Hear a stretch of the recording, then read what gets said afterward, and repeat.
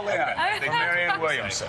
Uh, no, I think, and I agree, and we talked about this last night, there were some moments that will come back to haunt whoever the nominee is. Kamala Harris, we should point out, raised her hand again Yes. last night to say she would eliminate private insurance.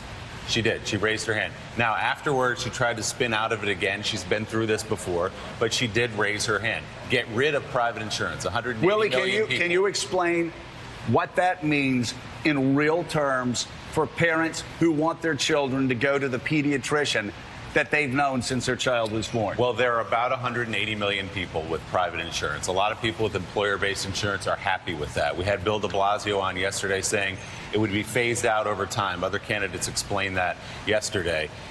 I don't know how exactly long that would take. A lot of people would lose their insurance for a while. Would they be caught in the middle? This would be devastating to a lot of people, but she's on the record. She could be the nominee. She's on the record for eliminating private insurance.